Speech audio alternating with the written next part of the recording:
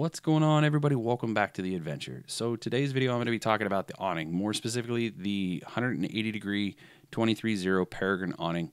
Now, we've had this for a few years, and I absolutely love this thing. It is probably one of my more favorite pieces of kit on the build. Um, does great in the sun, does great in the snow and the rain. Uh, we took it to Yellowstone and endured a pretty heavy uh, thunderstorm. Washington, it did great. You know, there wasn't really much going on. Uh, took it out to Plain for an Overland Expo, super windy, and with the wall kit that I got, not a problem. I tucked my tent in there and didn't have a single problem with wind blowing through there at all. As you can see, it ties down pretty well. Uh, the LST technology, which is what you guys are seeing here, is their light suppression technology. LST technology, the LST. Um, really just keeps light out, and it does a fantastic job at that. And it does a pretty good job about keeping the heat out.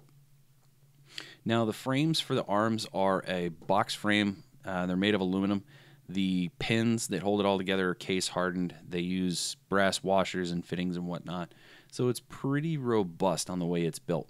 Now, uh, they built some features into the awning to help prevent it from interfering with your lift gate, or as everybody calls it in America, tailgate. And yeah, there's really no issues, especially for the canopy because it lifts up in the back. A uh, couple quick numbers. The mounting length of the awning is 81 inches. Um, and when it's fully extended from the front to the back of the arms is 20 feet and it extends six and a half feet out from the mounting point and 83 feet uh, square feet roughly give or take uh, so there's a substantial amount of space under there especially once you put in the walls and you can actually extend out the coverage a good ways uh, it's really just a phenomenal piece of kit, and I, I we really do enjoy it. It's a must-have for us on any build that we do from now on. Um, but that pretty much does it about the numbers. It's pretty straightforward. A lot of their stuff's on there. There's a lot of technology that I don't want to say technology, but there's a lot of uh, forethought that goes into it. Oh yeah, the cover is a um, PVC cover, and they are replaceable. 23Zero sells them on their website, so if it ever gets damaged or anything, you can replace it. So, where do I stand on the awning? How do I feel about it? What is my thoughts and opinions, my review, as it were, um, of the 180 degree Peregrine awning from 23Zero? Honestly, I like it. It's a pretty good awning. We've had it in the snow, rain, a little bit of a sandstorm, and it's held up wonderfully. Now, I wish I would have had the wall kits sooner. Um, we got into a pretty gnarly thunderstorm in Yellowstone, and the walls would have been great. I really would have appreciated those walls but we didn't have them at the time so it is what it is. But now that I have them I used them in Plain at one of the expos up there and there was a little bit of a wind coming through there and the walls did great. They didn't buckle.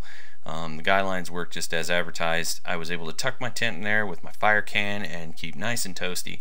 So honestly wall kits are a, for me are a must-have for the awning. Uh, it just increases that capability like I talked about um, you know, they give you everything you need, the guidelines, the stakes. The one thing I would change probably is the stakes that they give you are just rods. I'd get some zero rotation stakes. It'll make things a lot easier. The wall, the guidelines won't come off as much. Or maybe I'm doing something wrong. Who knows? But um, yeah, that's that's really where I'm at. I would recommend this to anybody looking to get an awning. Uh, there's a lot of different flavors out there. A lot of companies using a lot of different ideas, different materials, different structures for the arms. Some of them are really heavy, some of them are really light. Um, this particular awning actually has two flavors, a compact and a standard. We went with, or full size, we went with the full size because we got the F-150. Um, but the compact is, you know, pretty neat. It's lightweight, high speed, low drag. And that's really kind of, yeah, maybe on a different build I'll go with that, but I'll probably still go with the 23Zero just because I feel like the Aussies build a really great product. And yeah, over time we'll see how it does. The stitching is my biggest concern, and um, yeah, how how waterproof will it stay? So we'll we'll see. But um, another thing we'll touch on the LST technology or the LST light suppression technology uh, does a really good job about keeping out the light. Does a pretty decent job about keeping the heat down inside the awning with the walls down. You know, you can actually roll the walls up to help vent air underneath, so uh, you could play with it a couple different ways and see what you can come up with. So that's gonna wrap this one up, you guys. If you liked the video, go ahead and hit that thumbs up button. Share the videos as much as possible.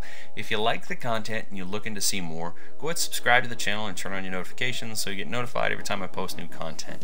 Um, but there is more coming. I don't know if you guys can see me, but or behind me, but there's some boxes to a couple of things that I'm gonna get on the truck.